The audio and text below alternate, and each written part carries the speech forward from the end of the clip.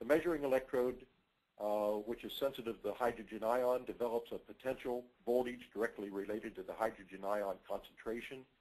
The reference electrode contains a fill solution which slowly leaches out into the electrode and uh, the, through the reference junction. The fill solution makes contact with the solution and the measuring electrode, completing the circuit. Thus, the voltage between the reference electrode should maintain at a constant voltage, and the measuring electrode will change proportionally. What's important here is to know that if pH is not working well, uh, many times, I'm going to say 80% of the time, the problem is, is, the, is the reference electrode. And the reason for that in an industrial probe is one, you could be running out of potassium chloride. Number two, you could be contaminating that potassium chloride. And number three, you can uh, uh, block the liquid junction. Uh, some people call it a frit. You can block that and, and keep the uh, potassium chloride from leaching out into the system. Next slide.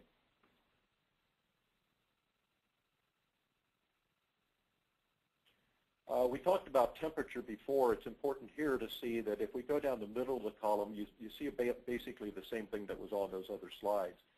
Uh, zero uh, millivolts at 7 pH and 59 millivolts in either direction as it moves up to 6 or down or, or up to 8. But as your temperature changes, uh, let's say it goes up to 50 degrees C, uh, 7 stays constant, but your 6 will generate 64 millivolts instead of 59 um, 5 pH will generate 128 instead of 118. And that is strictly a function of temperature. Uh, some people think the temperature compensation compensates for this difference, and it really does not. The temperature compensation in any pH probe simply takes the, if, if you go back to the Nernst equation, the Nernst equation, part of it has the uh, temperature in the equation, so it's kind of a variable constant, if you will. And the temperature compensation just tells you that at that pH and at that temperature, your pH is correct. Next slide.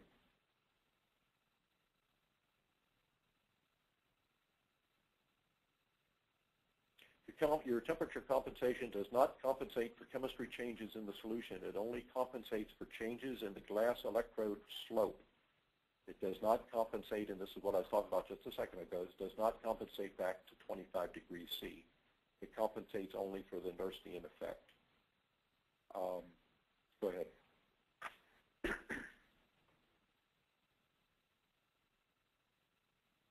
Next slide.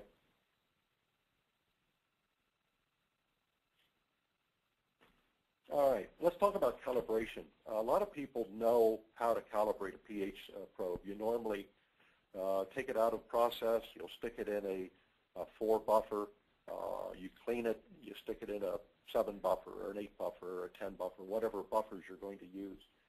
What you're doing at that point really is, I'm going to say, reestablishing a zero. If you're using an industrial probe and you, you, you continually use this potassium chloride that's in the reference, that reference electrode is changing potentials the whole time you're losing electrolyte. So what you do when you recalibrate is you take into effect the age of the measuring electrode and the amount of potassium chloride and the age of the reference, and you re-zero it so that it's reading correctly. So you'll stick it in a four buffer, um, make the instrument read four, uh, clean it in DI water, uh, seven buffer if you can't find a DI, uh, DI uh, excuse me, a, a, a seven buffer or a DI water and then stick it in your second buffer, and those buffers should be about 2 pH different. The other way that you can calibrate, and, and I like this especially in applications where taking out the electrode is difficult or uh, major change in, in temperature if the electrodes are hot, is to do a grab sample.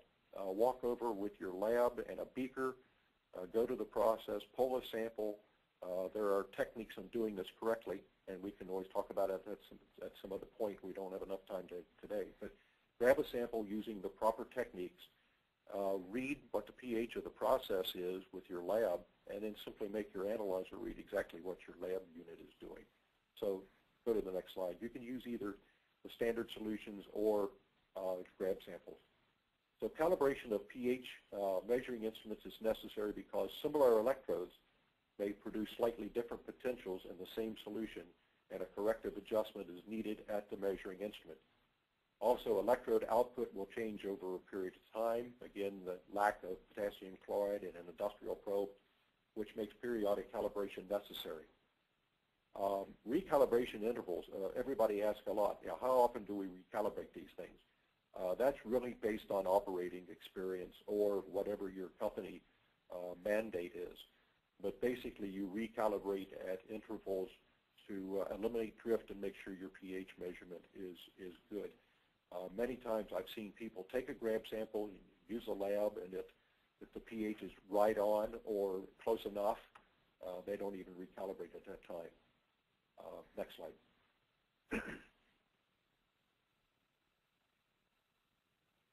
okay, we've spent a lot of time talking about industrial probes. I'd also like to talk about high purity measurements.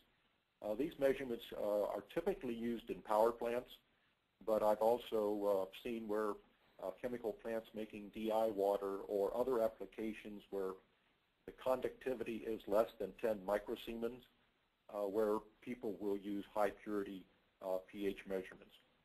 Go ahead, next slide. Uh, in a public, in a power plant, why is pH uh, measured?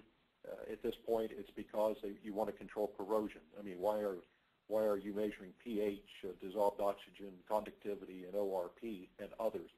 Is you're trying to co co control the corrosion that's happening in the tubes and other plants, uh, parts of your plant, and of course for proper water treatment. Next slide.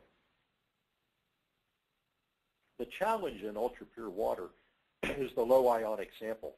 If we're talking about DI water, which is deionized water, there's very little to help a pH electrode.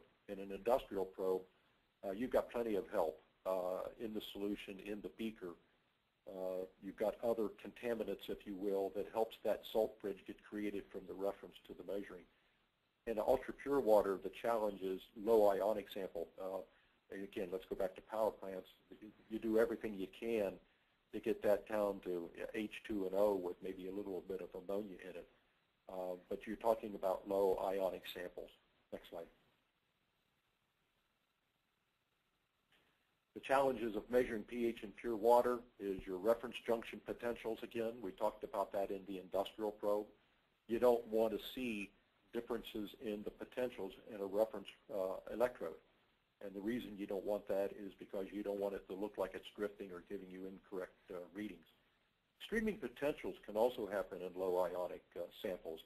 Streaming potentials are generally caused by using ultra-pure water in some sort of plastic tubing or plastic monitoring system. Uh, I use the word scraping. Uh, the water just scraping past this plastic can cause static charges which will affect the potentials being developed at the glass and measuring electrode, and therefore can cause errors in pH. That's the reason that we always recommend that a grounding rod be used in the sample. And of course, contamination, fair area, and leakage. and I see that quite a bit uh, if the flow sample is not high enough. If you're down around 25 or 50 cc's, you can actually cause some CO2 leakage from the exit side of the chamber to come back up and to contaminate the sample. Uh, next slide. the reference uh, junction, a low resistance at the liquid junction is critical for a stable pH reading. In high purity water, the electrolyte solution can actually be washed away, leading to a high resistance at the liquid junction. This will again create the pH reading and make it look like it's unstable. We use a flowing reference junction, and we'll show that in the next slide, that'll help the pH stay stable by continuing to submit to provide a adequate amount of potassium chloride to leach out into the uh, into the chamber. We also use the solution ground uh, to eliminate that uh, excuse me streaming potential that we were talking about before. Next slide.